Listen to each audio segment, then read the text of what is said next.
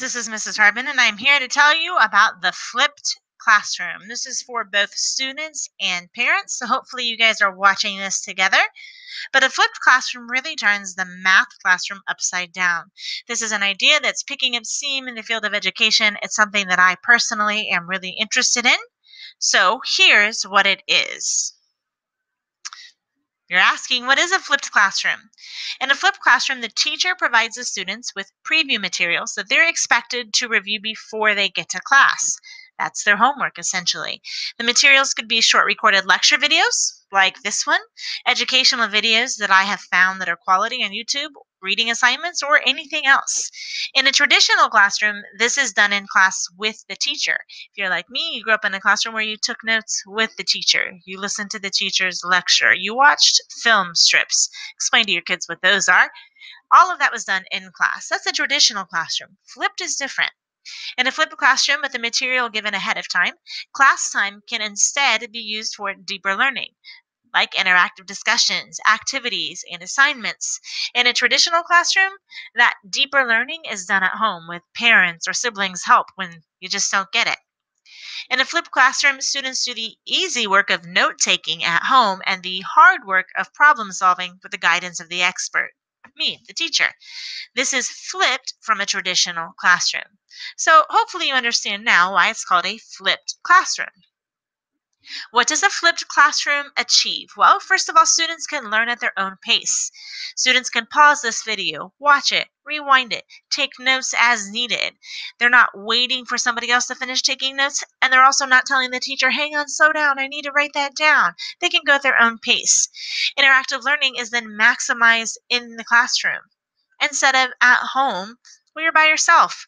Students have total control over the pace and content of the preview materials. They can review, rewind, pause, and play back as many times as needed. And each student then comes to class with a foundational understanding of that day's materials, and they can spend their class time engaging in discussions led by the teacher or activities planned by the teacher for deeper understanding. If they have any questions after watching the preview materials, they can ask those when they come to class instead of getting home and realizing they really don't understand. So, how does it work? Materials will be signed as homework.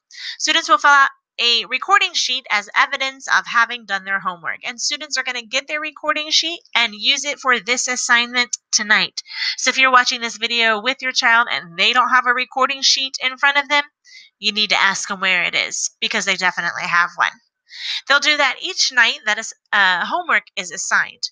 They will then come to class and spend their class time putting their math skills into practice, whether it's through those traditional practice problems, teacher created or real world problem solving problems, or real world projects. They'll get to do those in class. Why does it work? Well, for students, it works because the flipped format ensures that the core materials of each class are taught at the right speed for them, since they can review, rewind, pause, and play back uh, this foundational material. For teachers, it moves teachers from the role of sage on the stage, standing in front of everyone and telling you everything I know, to guide on the side, uh, guiding students to interact with each other, assisting students one on one as they need help. And I'm able to do that a lot more often in a flipped classroom than I am in a traditional classroom method. So you might be asking, well, if they're doing this note taking at home, what are they doing in class? I'm glad you asked. A class might have things like discussion, experimentation, real world problem solving, project based learning, interactive quizzes, or even traditional bookwork. The benefit of doing that at class instead of at home, they can readily ask questions, they can learn from their peers, they can learn from their teacher, instead of thinking they get it, going home and saying to you, Mom, I don't know what we did in math today. And you trying to remember what you did back when you had Algebra 1. So it totally flips the classroom on its head. So, what about homework and grades? Homework for students in a flipped class will be reviewing the materials ahead of time and coming to class prepared to apply what they've learned. Whether they've done so will be assessed through the recording sheets. Again, if you're watching this video with your child, they should have a recording sheet. They should be taking notes. If they don't have one, ask them where it is. The more traditional homework, like assignments, word problems, other exercises, they still exist. But the goal of the flipped classroom is for students to work on many of these activities while in class, where they can ask questions, clarify responses, and hopefully have more positive and less frustrating environment for proving their knowledge. These assignments will be graded just as they always have been. We're just changing the, the location of where they do these assignments. Also included in grades are tests and quizzes, as well as the standard midterm exams. So grading really hasn't changed too much. So you might be asking, I've never heard of a flipped classroom. How common is this? Did you invent this? And the answer is no, I did not invent this. This is actually becoming fairly common. The number of teachers using the flipped model increases each year. Of teachers who have flipped their classrooms, studies indicate that 71% reported increased test scores, with particular benefits for students in advanced placement classes and students with special needs. A lot of times, traditional classrooms uh, targets those who are our average students, and the students who are advanced feel bored, and the students with uh, special needs or who are struggling with math get left behind. This kind of targets those two groups and helps them find success. 80% of teachers using a flipped model report improved student attitudes toward the subject, and 99% said that they would flip their classrooms again next year. So it is becoming more and more common because of results like this. What technology will the student need in this flipped classroom, you ask? Well, they'll need access to the internet, a computer, or other mobile device. If you don't have those things at home, they can arrange to use the school's computer lab during study hall, lunch, after school, or before school as needed to complete their homework. For the most part, a homework assignment is going to take them 10 to 15 minutes. So if they don't have internet at home, they can come to school about 15 minutes early and do their math homework that morning if needed. If you have any questions about this or problems with this, please make sure you let me know. So, what can you, the parent, do to help your child in this flipped classroom setting? The single most essential element of any flipped classroom is whether or not its students actually review the material ahead of time and come to class prepared. If the students don't do the homework, they don't watch the materials, they don't take notes on the recording sheet that I've given to them that I've mentioned now three times in this video, they will have to spend class time watching those materials at school, which takes away from the time that they spend in class in the interactive materials. It takes away from their time to get help from the teacher, to ask their peers questions, to clarify any misunderstandings they have. They have to do their homework, and it's going to be better for them if they do it before they come to class.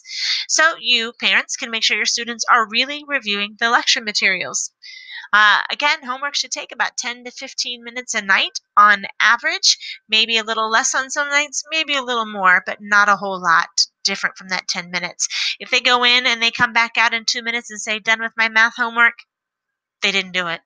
I, I can't think of a homework assignment I have that's only two minutes long. So make sure they're really watching the, the materials that I provide. You may even want to watch together with the student. It's a great way to ensure that they are paying attention and you can make a difference by talking with your student about the subject as you watch. You might learn something new that you never knew about math or something that you had forgotten and you went, oh yeah, I remember when I learned that. Uh, so it's really a great way to engage with your student about the subjects that they are learning instead of of just getting papers back with numbers all over them and no name and you don't know what they're learning. So engage with them, make sure they're really reviewing and doing their homework. If you're unsure about how this will work, please don't hesitate to send me your questions. You can contact me at heather.harbin at ccmv.com. I do answer emails within 24 business hours. I really try not to check my email on the weekends, unplug and spend time with family. So if you send me a question on Friday afternoon or Saturday morning, you're not going to get a response probably until Monday. If you want to know more about flipped classrooms in general, feel free to Google it or you can check out this video, the link's right here, for another teacher's explanation of a flipped classroom. Uh, information for this presentation came from Edmodo blog. You can click on the link right there if you want to see where that information came from. This presentation is a summary of the information that they present. Feel free to research, Google, find out what you can about the flipped classroom. If you have any questions, don't hesitate to contact me. I'm excited about this uh, change in format. I really think it will be great for our students, and I'm excited for them to be just as excited about math as I am. That's my goal. Let's make it happen. Have a great night, guys.